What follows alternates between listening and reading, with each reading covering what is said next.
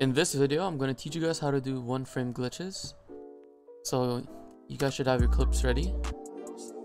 Just we'll add it to this one. So first thing you gotta do, go to the end of the first clip and add your adjustment layer and you gotta zoom in for this part. So for the first glitch, you wanna leave about two frames like that, put one here, leave this as one frame only, and the next one leave it two frames. So your adjustment layer should look like this. So there's a lot of effects you, you can use to make the glitches. I'll put on the screen right now, which ones I use the most. And my favorite one in that list is probably a displacement map and amino diffusion. So let's do amino diffusion in the first one.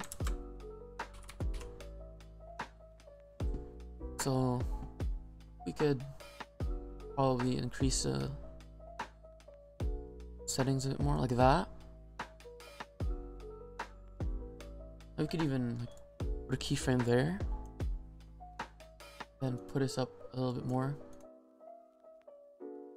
Probably like 1100.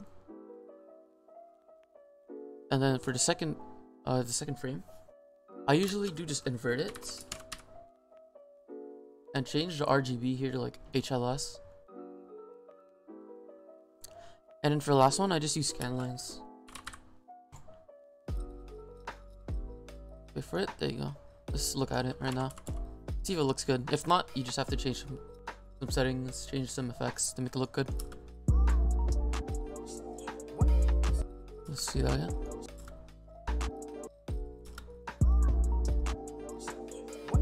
Pretty good. Uh, I think we should fix this part though. I don't think. I think this part's a little bit too noticeable.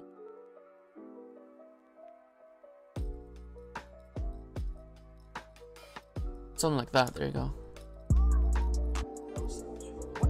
That's better. So yeah, that's how I do my basic glitches.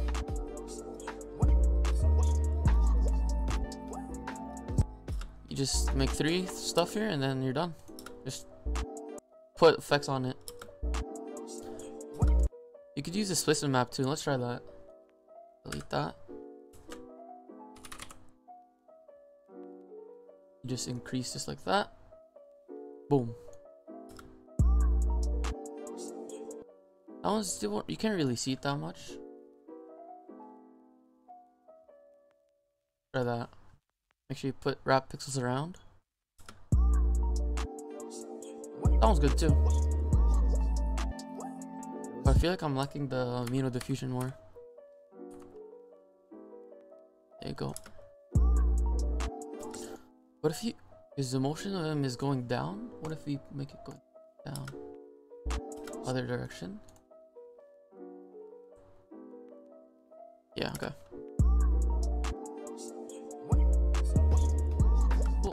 That's literally about it. Just put effects on your adjustment layers, and you're done. Yeah, this, is just my basic ones. There you go. You can. It's not that good, but it works.